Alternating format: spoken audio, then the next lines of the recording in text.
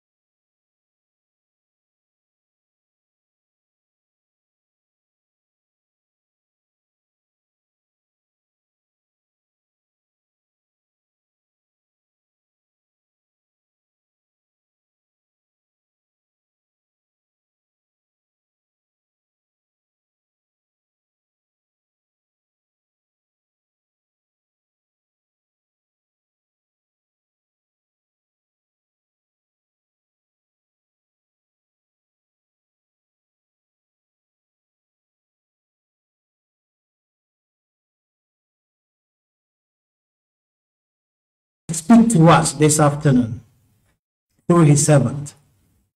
You.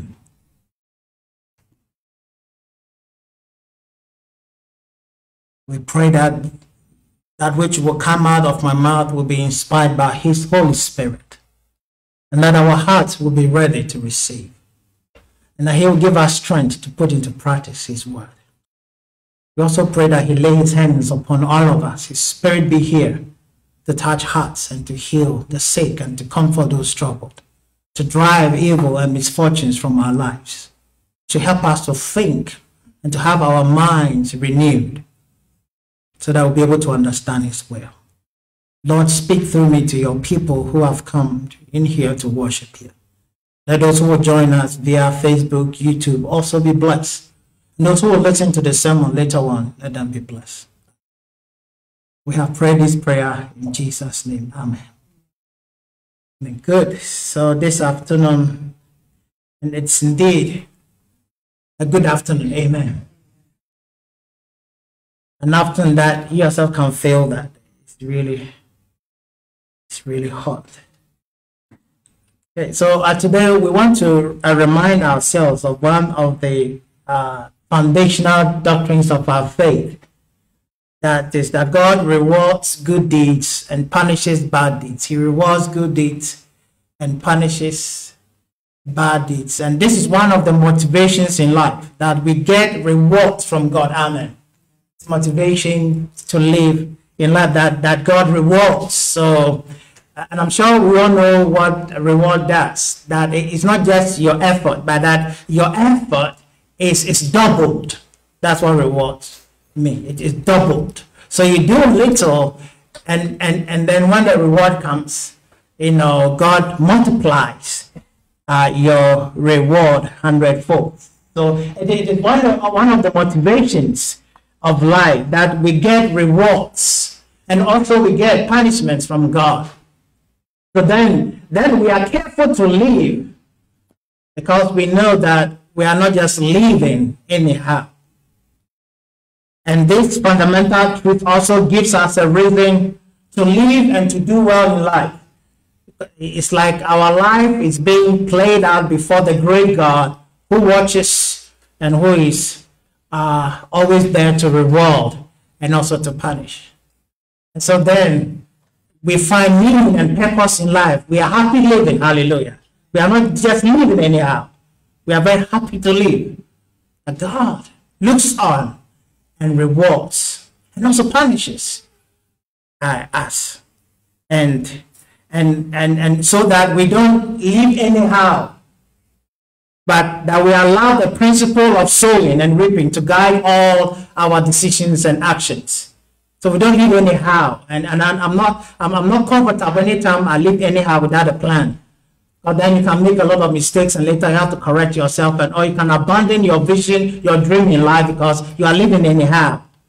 So the thought that God rewards us and also punishes us that helps us to allow good principles like, uh, I mean, you reap what you sow to guide our decision and our actions. And sometimes if you are not careful with some of these things, you live anyhow only to reap all kinds of things later on. So it's my prayer that the Lord will bless us this afternoon. Amen. And that we all leave this place filled with love and joy in our heart, going out there to live a full life, knowing that God will reward us. And Adam and Eve, concerning Adam and Eve, having enjoyed the blessings of God in the Garden of Eden, they, they had good time. But they were really surprised when they received punishment, punishment from God when they transgressed. I mean they were having good time in the garden. But then I think they were not particular about this principle. And so they transgressed the divine law. And then God called them, chapter 3. And then God had to discipline them. So, so sometimes when we leave God and, and we don't think through life carefully, we are likely to transgress or do things that later on we shall reap the consequences. So they took for granted that God rewards good deeds and punishes the But Even in chapter 4, Cain and Abel, we know the story. Again, Cain also uh, took for granted the fact that God rewards good deeds and punish bad deeds. And so Cain found himself in trouble. And so I pray that the Lord should speak to us this afternoon. Amen. Uh, in our text, Romans 2 6 to 11, Paul now reminded the Christians at Rome of God's righteous reward and, and his punishment. So I think we can go back to the text, the book of Romans 2 6. Now he, as we are looking, he also spoke to them among many, many, many other subjects, but we are picking on this. Romans 2 6. And he reminded them that God will repay each person according to what, what they have done. Everyone. To those who by persistence in doing good seek glory, honor, and immortality, he will give eternal life. So those who will, they will, I mean, they will persist to do good and to do things that will bring glory to God. And they will continue to do things that will honor God. And they'll continue to seek immortality. God says, I'm going to reward them with eternal life. And Paul was telling the Romans, Christians, verse 8, but for those who are self-seeking and who reject the truth and follow evil, there will be wrath and anger.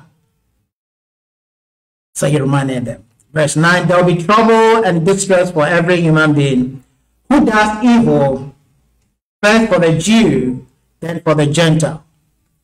Verse 10 But glory and honor and peace. And, and I think we need peace, hallelujah. And peace for everyone who does good. First for the Jew, then for the Gentile. 11 For God does not show favoritism. And I think the world needs peace.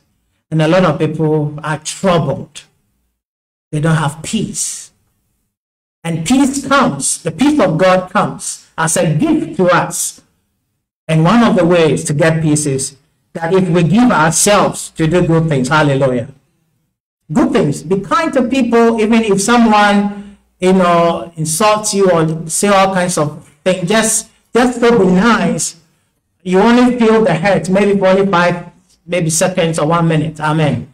But after that, you have your peace. But if you engage in fighting, you know, at least for the next two hours, you, you realize that you have no peace. So here, uh, uh, one of the ways to experience the peace of God, which we need now, we need now, is to now do uh, good things, to give ourselves to good things.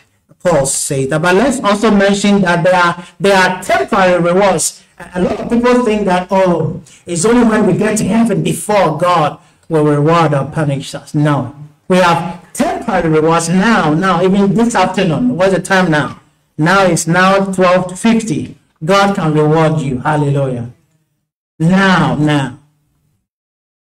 And also, there are future rewards when finally Jesus comes. And in the same way, there are temporary or present now punishment. That if you go wrong against God, and if He decides, He can discipline you as His son. And also, there's that final one that awaits all of us. Example, if you have time, when you go and read the book of Second Samuel 7, when God, when David planned to build a temple for God, God said, David, because you have thought about these things, I'm going to bless you. So now we speak. And then again in Second Samuel 12, when he sinned by killing Uriah and taking Uriah's wife, God said, David, because you have done this, straight away you get your punishment. So when we think about rewards and punishment, we should not always think that we only get them when Christ comes. But today, even as we pray, as we sit here, as we go home, as we start work tomorrow, God can reward all of us uh, richly. Amen.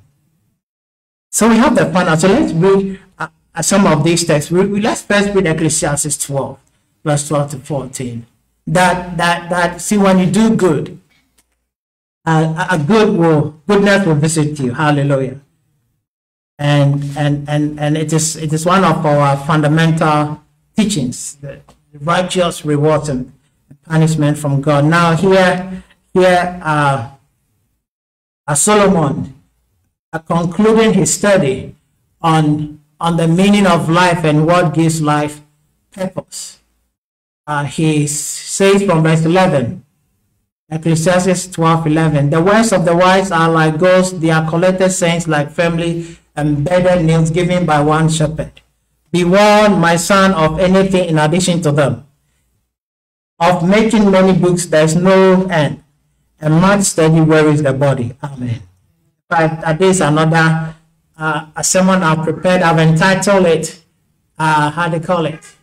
Oh, a very nice uh, topic that I've entitled, meaning that if you if you study beyond beyond the limits that God has set for us, you will become very wise, but you'll be troubled. Yeah. If you study, if you want to understand everything under the universe beyond the limits that God has set for us, you become very wise, but troubled. You'll be troubled. And if you decide not even to know anything about God, you become very ignorant and happy. If you're ignorant and happy, you know, uh, I mean, you can perish like this, you know that. So, so for example, I mean, there can be danger out there, but because of your happiness, you don't know. And because you don't want to know, so you can perish. Ignorant happiness and miserable wisdom. If we study beyond the limit God has set for us, that's what we go through.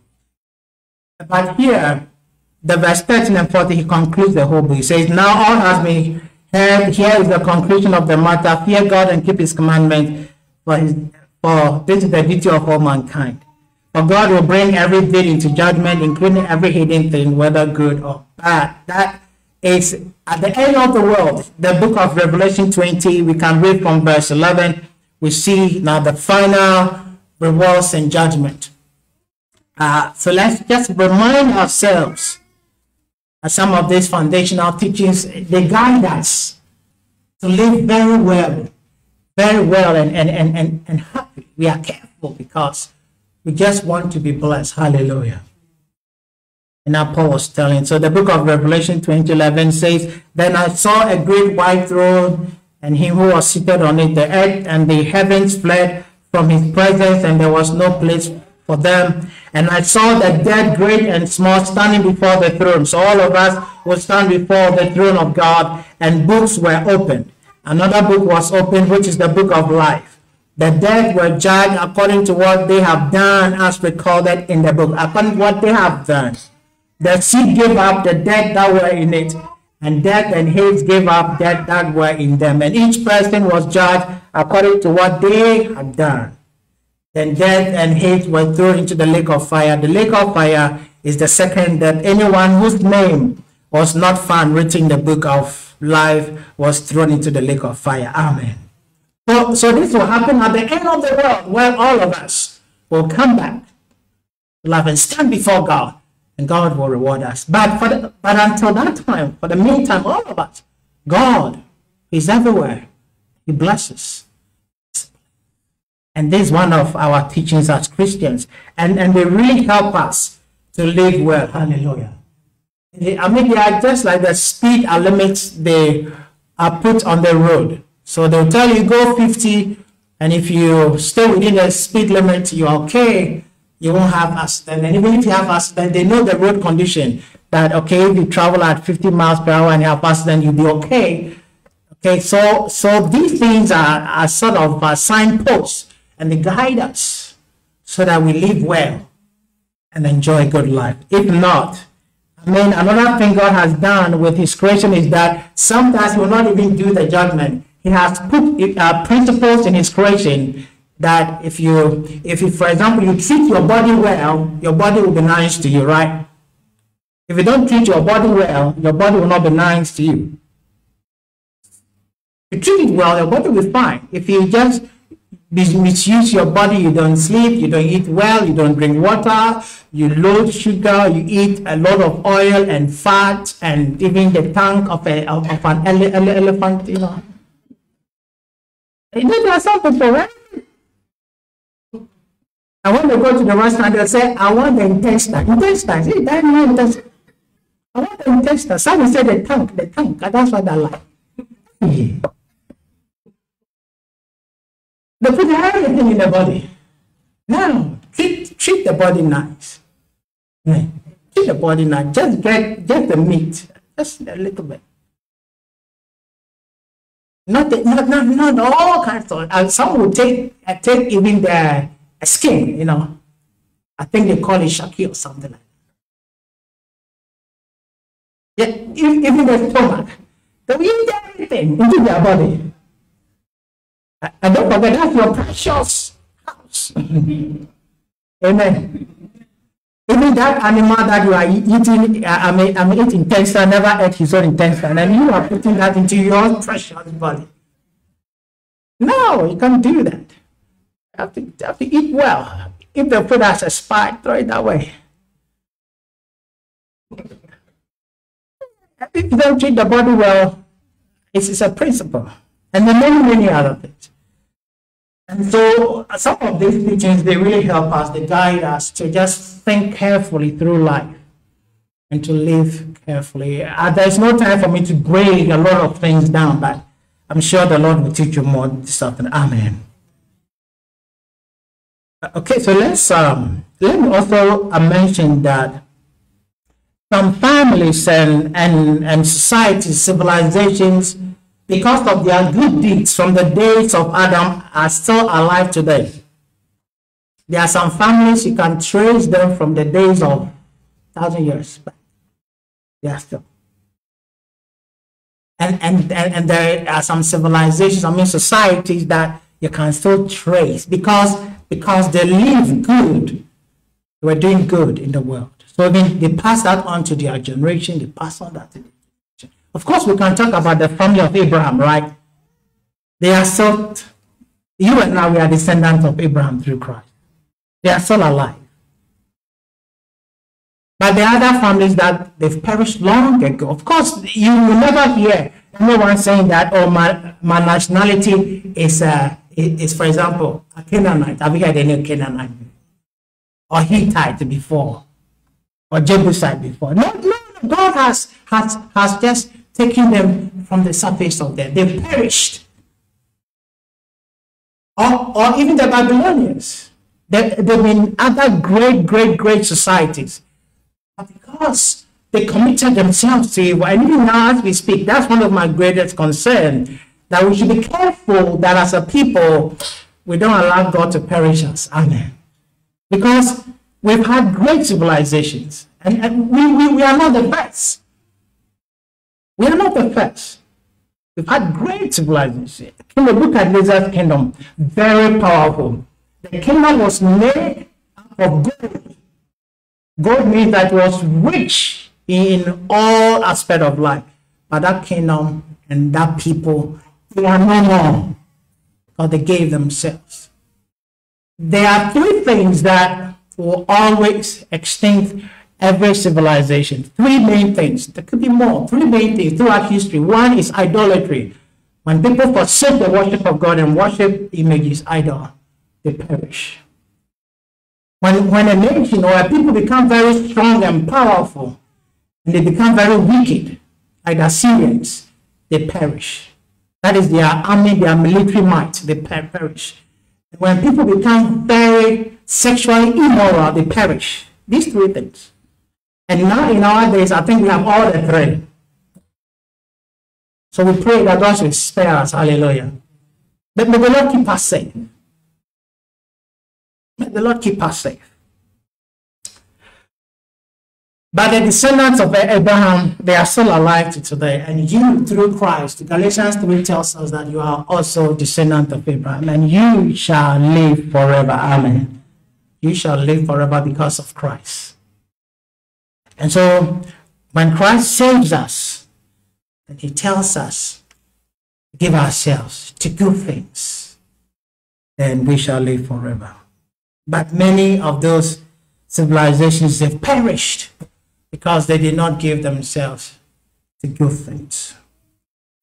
And let's look at some of the things that God rewards. Is it just to stimulate our, our thinking a bit more? Some of the things God rewards. The first one I'll mention, we just mentioned a few, that God rewards peace to those who give themselves to do good in life. Oh yes, if you really want peace, just decide to do good and good, because the thing is sometimes you can do bad stuff no one will see but your conscience will not allow you. Conscience will be biting you will be hitting you. You you can try to kill it but sometimes it's not easy. But, but if you give yourself to do things sometimes you may go through challenges and, and other stuff. But but god will make sure that you have peace and that was the reason why Christ, when he was on the cross, dying for our sins, he had peace and said, Father, forgive them. Although he was going through suffering for our sins, he had peace. In the book of uh, uh, Acts, chapter 8, Stephen 7 and 8 is singing the same way when they were stoning him to death. He prayed and said, Father, forgive them. It takes only a man, a woman of peace to tell God, our Father, forgive them. If you, are, if you don't have peace, you can never pray that prayer. So, so, so when you give yourself to good things in life, you have peace. And we need peace. Hallelujah.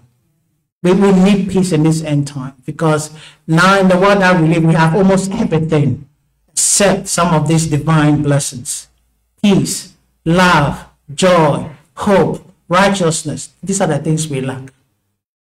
The peace of God the book of Luke, chapter 10, verse 5 and 6 tells us that Christ told the disciples, if you go to any place and you find a person who promotes peace there, let your peace be upon that person. In the book of James 3:18 tells us the same thing that peacemakers will also inherit a harvest of righteousness. If you give yourself to things, you Of course, people may cheat on you and may undermine you. That is okay, but you will have your peace of mind. Hallelujah. Peace of mind. Now, someone may ask, what about if I've done things in the past that have robbed me of peace? What should I do? Go to the Lord in prayer and repentance and tell God the Lord, I'm sorry for all that I did in the past.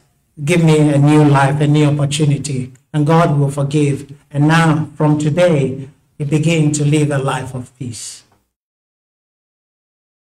I think uh, two years ago, two years? Yeah, not last year. I was reading a book, and the man was writing about what happened in in those days in uh, in Germany, where where the Germans you know killed the Jews, a lot of them, and then he was saying that I think I gave that book to you. I can see. I, I think it's still with you. If you can bring it back, that'll be nice. Yeah, and I think also I have my book. Bring my book. And they asked me and, and others as well. I have some books. Bring them back. Then the man was saying in the, in the book that his fellow Jews, right, who betrayed each other, they never survived. But those who saved and served, many, as we speak, they are still alive. God kept them. Yeah. Yeah, yeah. So God knows how to give peace. Hallelujah. Give your yourself the good things and enjoy your life. help others. Uh, the second thing I'll mention is that God rewards those who believe in his only begotten Son, Jesus Christ, with eternal life. Eternal life is a gift. And, and God is saying that if, if you want eternal life, believe in my Son, and I will give you eternal life. Believe in Christ. John 3 16 and 36. Let's read the verse 36, John 3 36. If you believe in Christ Jesus, uh, you will have uh, eternal life. It's a, it's a gift. The verse 16 says, For God so loved the world, he gave his only and only Son, that whoever believes in him shall not perish, but have eternal life. That life is a gift that he gives to people. Other verse 36 says, Whoever believes in the Son has eternal life, but whoever rejects the Son will not see life, but God's wrath remain upon the person. And the same book, chapter 36, verse 39 to 40, John 6, 39 to 40. Again, we see Jesus uh, speaking on that very theme that when you believe in Christ, Christ should only be your Lord. There are a lot of Christians, they've come to Christ, but they have other lords. There's only one Lord, that is our Lord Jesus Christ. The book of John 6 39. It says, And this is the will of him who sent me, that I shall lose none of those he has given me, but raise them up at the last day. That's a gift God. My Father's will is that everyone who looks to the Son and believes in him shall have eternal life, and I will raise them up at the last day. Amen. So there is only one Father. I think next Sunday is uh, Father's Day. Next Sunday, uh, yeah. Is it next Sunday, 20th, Father's Day? There's only one Father in heaven. And there's only one Lord, the Lord Jesus Christ. And, and God the Father is saying that whoever will believe in Christ as Lord, I'll give you eternal life because my Son will cleanse you from all your sins my son will teach you how to live the kingdom life. And my son will lead you into my kingdom. I'll give you that gift. Eternal life. And, and it's a reward for believing in Christ Jesus. And now it's very easy to come to church, but sometimes it's, it's possible that Christ is not your Lord. So make sure you saw that out properly. Hallelujah. That Jesus is your Lord and Savior. You believe in Him, you call upon Him, you pray through His name, you obey His teachings. He's, he's the one that you follow, He's the one that you serve. And God gives you eternal life. A life, all of us will die one day. And those who have Christ will live forever in the paradise of God. And, and when we see Christ this way, I mean, I mean, for me, it makes life very, very worthwhile. You know, it makes life meaningful because I know that all my labor now will not be in vain. All my struggles and my toils will not be in vain. That one day I shall meet him and be with him in his paradise. And so we work so hard. At the same time, we enjoy life and we are hopeful because we know that our life is not only defined here, but that there's a place in heaven for us. And so although we may go through all kinds of trials and tribulations, we still have hope. It's just like that student who have studied well and has written his or her, her, her paper, papers very well. That student is very sure of good grades. Hallelujah. But if you did not study well, is it? Hmm. And then if you don't study well, when they announce that, hey, the results are out. And and then those days, you know, uh, there'll be a very big a notice board. Everyone's name will be displayed. So then you go. And as if you are going, going blind, isn't it? And then you see some getting A, B, A, B, and then and then and then you think that I think it's me. Especially if you if you share the same person with the person. So that you take your time and look at your own surname and see. You see, you want to give your life to Christ and live well. That is the hope that you have. Believed. and the time has come. And let's look at the third one. Because of the weather, it's likely we shall close a bit early today. And the third one, we are looking at some of the things that God is happy with, that He rewards us. But then, then we set our hearts to do that. I'm just mentioning some. I cannot list all of them. I'm sure we, we have, I mean, 200, 300, 500, even, even, even 1,000. I'm just mentioning three or four at least to, to inform all of us that there are some things that God is so happy to see us doing. There are some things that He is not. And there is that principle of rewarding and also discipline in the world that God, you know, has made all of them part of living. Three, if you are very patient and persevering in difficult times or situations, God also rewards you. Yeah. If you are going through tough times, but you are still trusting and hanging in there, God rewards you. So let's go to James 5:10. James 5:10. And if you are going through, which all of us will go through, stuff in life. If you can show hope in the Lord and trust in the Lord, God loves such people. And then He comes to bless them. Patience in suffering. You don't like the situation, but you're hanging in there. You are still doing what you know is right. It's, it's too much. God comes to reward. James 5:10. Brothers and sisters, as an example of patience in the face of suffering, take the prophets who spoke in the name of the Lord. As you know, we count as blessed those who have persevered. You have heard of Job's perseverance and have seen what the Lord finally brought about. The Lord is full of compassion and mercy. Amen. Amen. So, so if you are going through tough times, difficult times, it could be in your marriage, it could be with your finances or your health. And the Bible says you can have patience. God rewards, like Job. Hallelujah. It was. Because the challenge, which we all know, is that when you are going through such times, if you are not careful, you can easily stray, yes, and do things that are not godly. But you can still trust God, say, Lord, I trust in you. I'll still maintain my integrity and go through. I may not have answers to all my questions. I may not like everything, but I still trust in you. God rewards such men.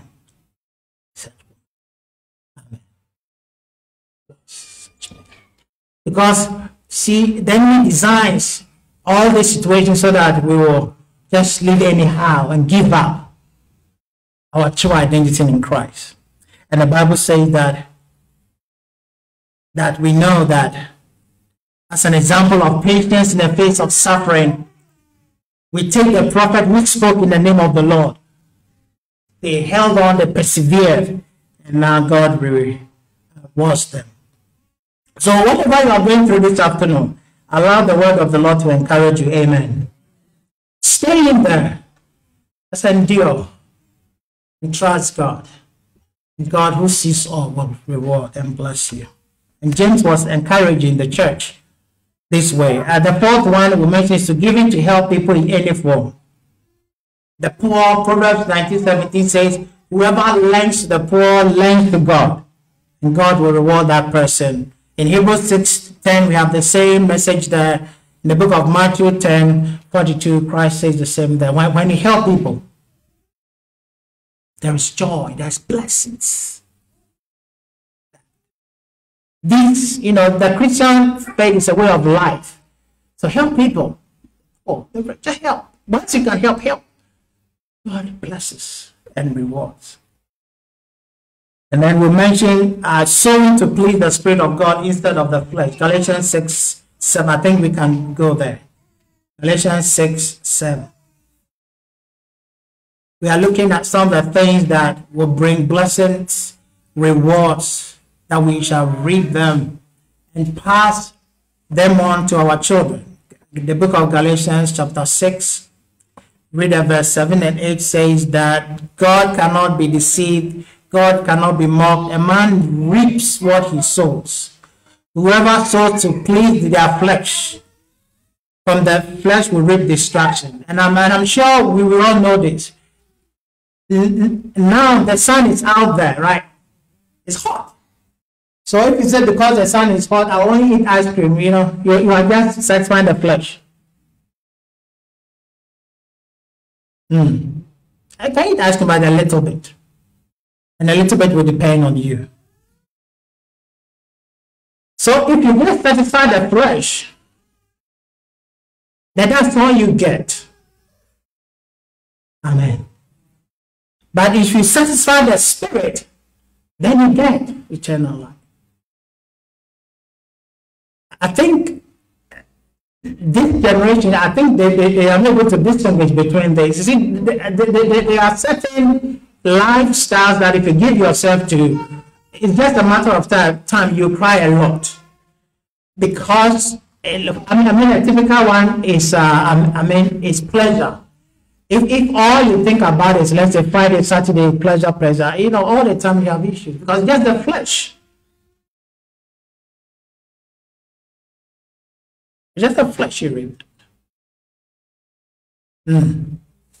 But then if you take time and say, as for this flesh, I only have to I give the flesh good stuff. And then let me also pay attention to my soul and my spirit. You realize that you, know, you have strong faith. You have enough strength. And you don't just obey the dictates of the flesh. Because you know the flesh is the problem. Hallelujah.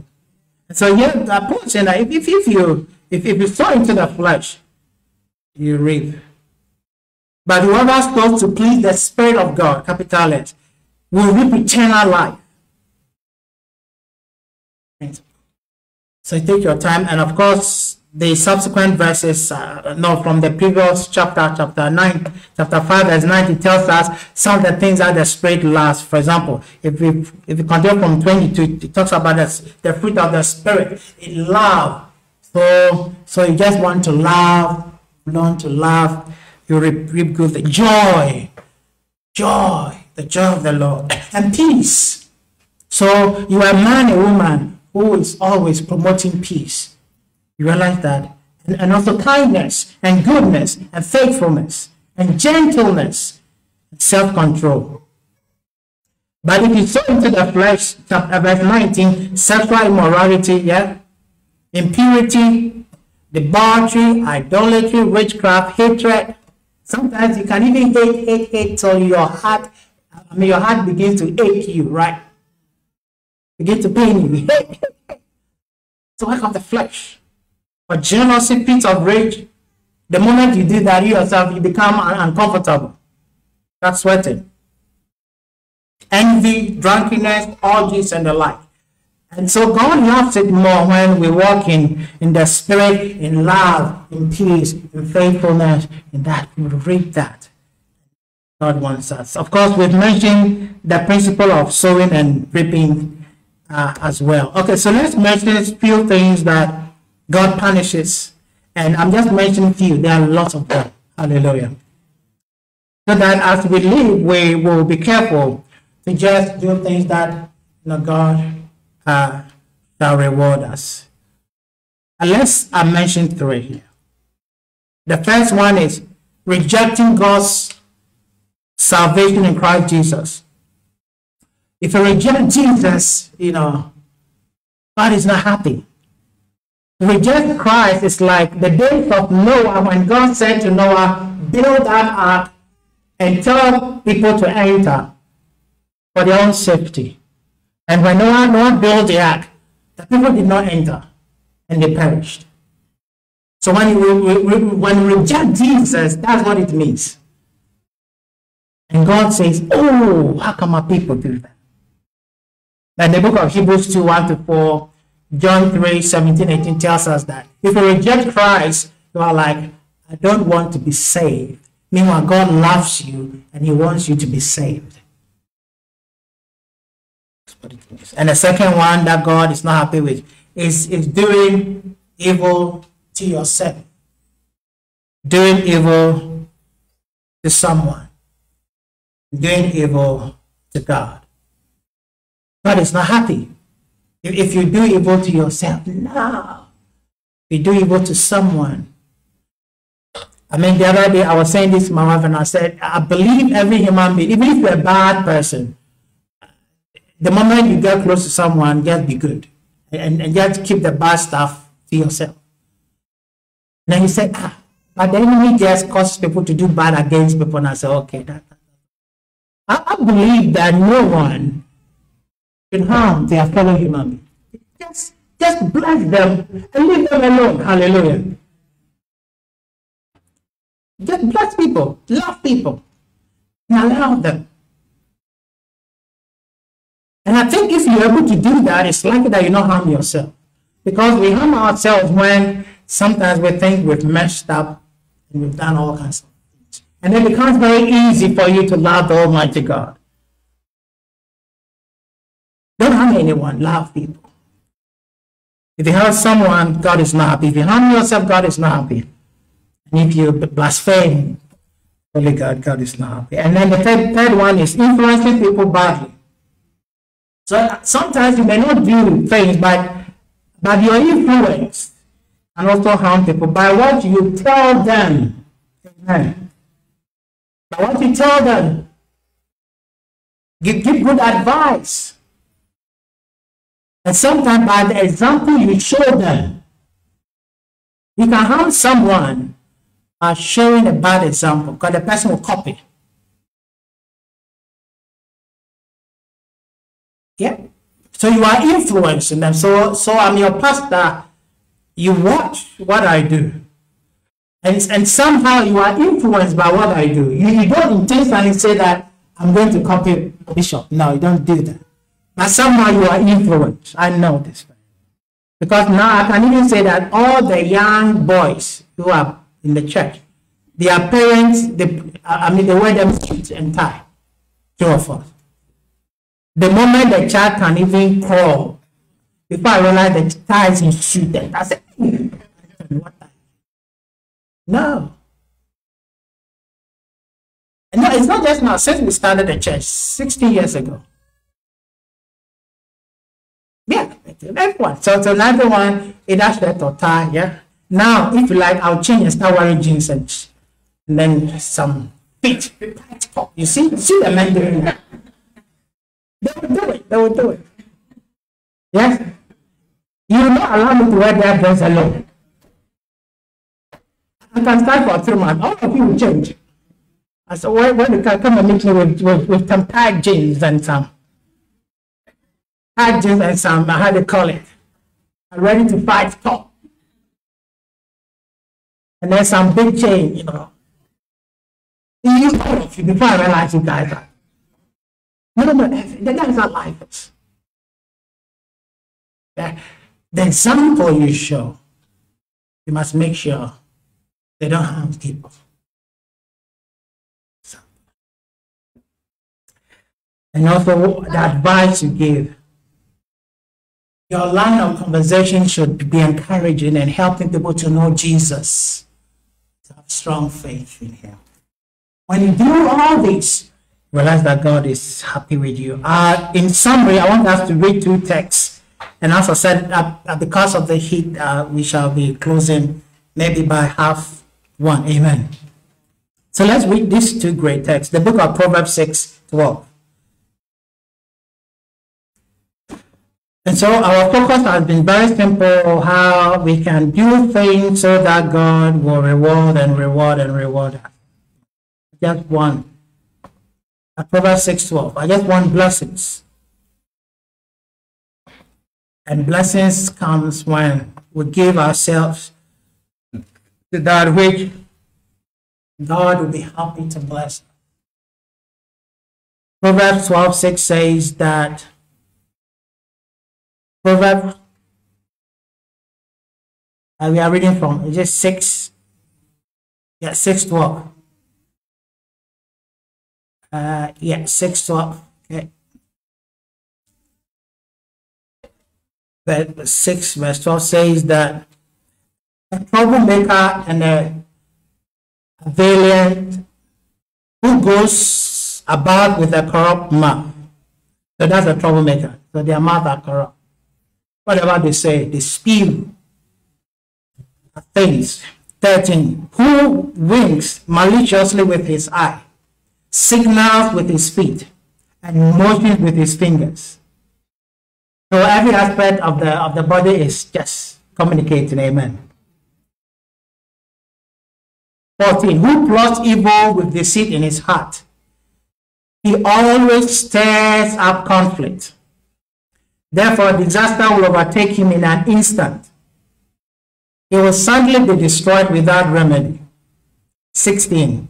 There are six things the Lord hates, seven that, that are detestable to him. Haughty eyes.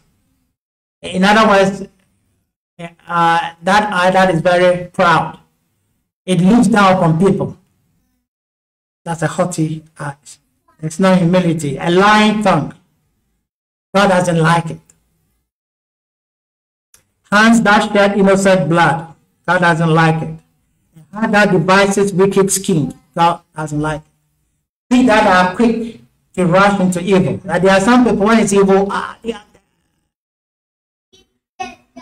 19. A false witness who pours out lies and a person who sets up conflict in community. So God mentions some of the things. So, so we make sure that we don't we don't follow any of these things. Amen. Just make sure because God is not happy. And then we, we come to uh, Galatians 5, Paul also had his version. Because some of these uh, vices, they manifest differently depending on your context and generation. And then in the book of Galatians 5.19, which we know very well, it talks about the acts of the flesh, sexual immorality God doesn't like, impurity God doesn't like, debauchery God doesn't like, idolatry God doesn't like, witchcraft God doesn't like, hatred God doesn't like, discord God doesn't like, jealousy God doesn't like, fits of rage God doesn't like, selfish ambition God doesn't like, dissension God doesn't like, factions God doesn't like, and envy, drunkenness, orgies, and the like. I warn you, as I did before, that those who live like this will not inherit the kingdom of God. Amen. But so, so then, then we try not to go in that direction at all. And then he tells about some of the things he loves. The fruit of the Spirit is joy, love, peace, forbearance, kindness, goodness, faithfulness, gentleness, and self control. Against such things, there is no law. Those who belong to Christ Jesus have crucified the flesh with the, its passions and desires. Since we live by the Spirit, let us keep in step with the Spirit. Let us not become conceited, provoking, and envying each other. Amen. Amen. So, so here, there are, there are many things that God doesn't like. And, and, and this teaching is, is just one of our sick doctrines that God rewards good deeds and punishes bad deeds. And Paul was telling the Christians at Rome and saying that, brothers and sisters, you see, this is what the word of God says to those who by persistence in doing good in seeking glory for God and honor for God and immortality, God will give them eternal life. So, so hold on to this. But for those who are selfish or self-seeking and who reject the truth of God and follow evil, there will be wrath and anger from God. There will be trouble and distress for every human being who does evil First for the Jew, then for the Gentile. But glory, honor, and peace for everyone who does good. First for the Jew, then for the Gentile. For God does not show favoritism. Verse 18. And so we pray for God's rewards. Hallelujah. Well, especially, especially I think the temporary ones, isn't it? Pray may the Lord rewards us. us oh, our, our labor, our toil, our effort, may the Lord rewards us hundredfold. And of course, if we have strayed, sin, I don't think anyone has, you know, has prayed that God punish me before. Then we pray that God have mercy on us. That God forgive us. Hallelujah. That's it. That's it. I let you on our feet, I said, because of the weather. I think it's almost 11